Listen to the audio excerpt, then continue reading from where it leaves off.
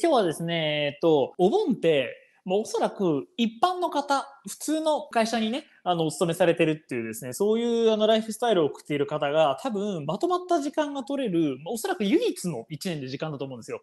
年末年始だとなんだかんださ、イベントがあったりとかさ、まあ、行かなくてもいい初詣行ったりとかするじゃないですか。お盆って、まあ、実家帰りますとなっても暇じゃないですか。で、多分皆さん台風とかもね、来るから、おそらく旅行とかね、どっか出かけたところで足止め食らったりすることが多いから、正直みんなが出かけるときには出かけないっていうのが、まあ、時間の使い方としては、ね、最上の使い方になるわけなんですよ。でそういうこと分かってる皆さんはおそらく家にいることが多いと思うんで、これまとまった時間にですよ。もう時間を小切りにするすべての行為をシャットアウトして、で、腰を据えた本を読むってのはめちゃくちゃ重要なんですよ。なんで、だから皆さんはぜひですね、このお盆の時間をですね、無駄にしてほしくないというところで、今日はですね、皆さんのために僕は本を選びました。はい。あの、異論は認めます。はい。皆さんで読んでいただいて、あの、判別してください。じゃあやってみましょうね。はい。第3位はですね、これ、あえて古い本なんですけど、僕は定期的に読み返してる本をご紹介しましょう。マーク・マンソンのその決断が全てを解決するという本ですね。年を取れば取るほど、この意味が分かるようになってくるっていうタイプの本です。簡単に読めるんですけど、これ決断力に関する本なんですよ。これどういうことかっていうとね、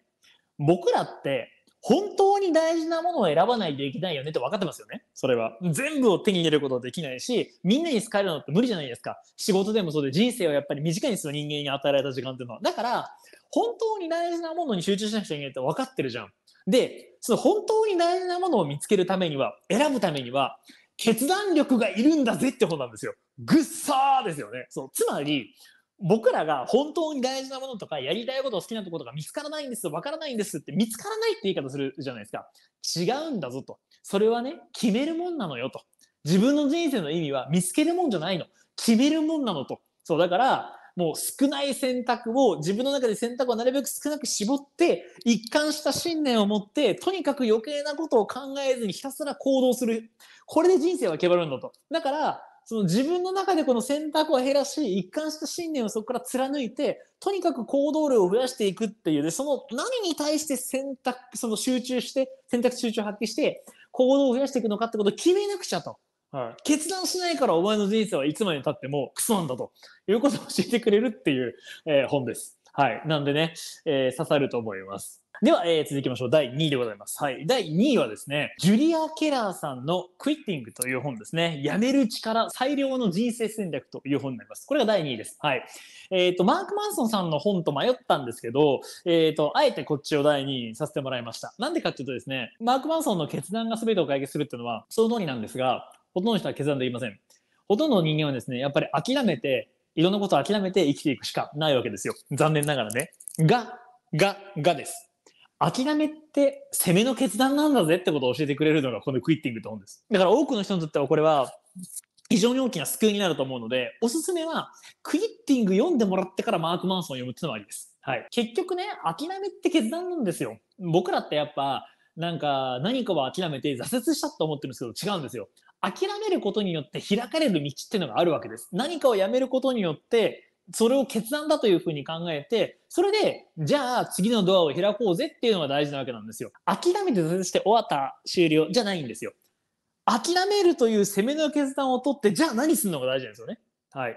でこれを考えさせてくれる本です。この組み合わせが。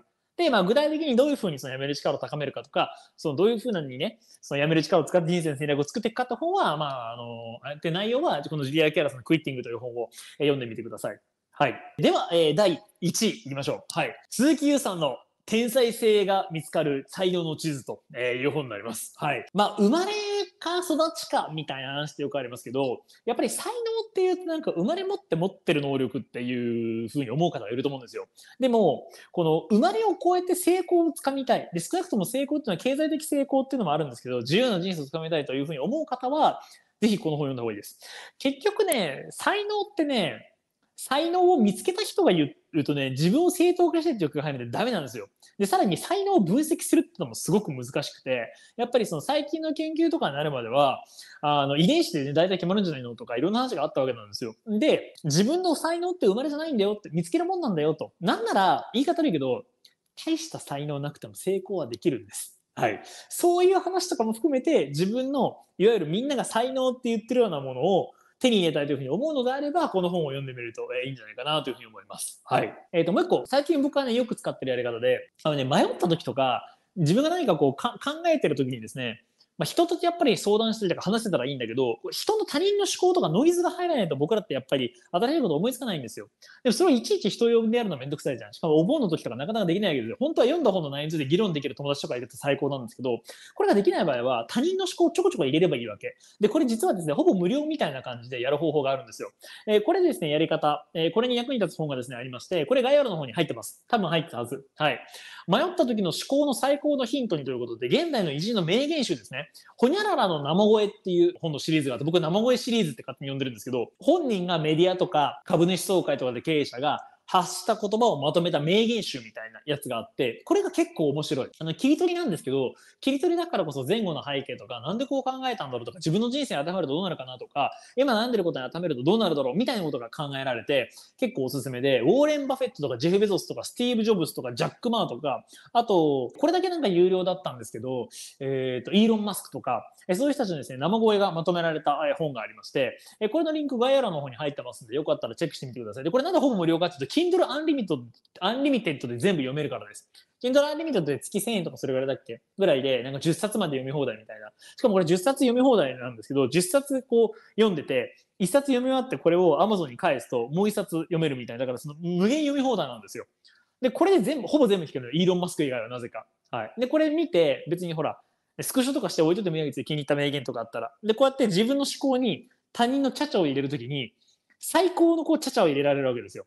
ウォーレン・バフェット、ジェフ・ベゾス、スティーブ・ジョブズ、ジャック・マー、イーロン・マスクですよ。はい。この人たちのにツッコミを入れてもらうっていう使い方をするって、まあ、名言集っていうか生声集ですね。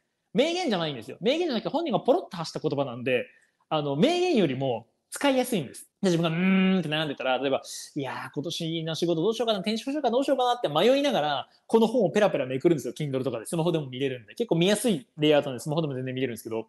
で、これだとどうなるかっていうと、自分に突っ込み入れているかのような言葉がポロッと出てくるんですよ。で、これで、あみたいな。そうだよねみたいな。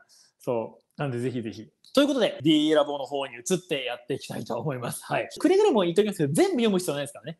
ピンとくるの一冊だけでいいから大丈夫です。一冊にしてください。あの全部読もうとすると、あの、挫折しちゃうので、自分にとってこれが今必要だっていうふうに思った直感で思ったものを読み通すと。メモとか別にしなくていいんで、読み通すということだけやってみてください。で、別にメモしたいなと思ったらもう一回読めばいいんで。はい。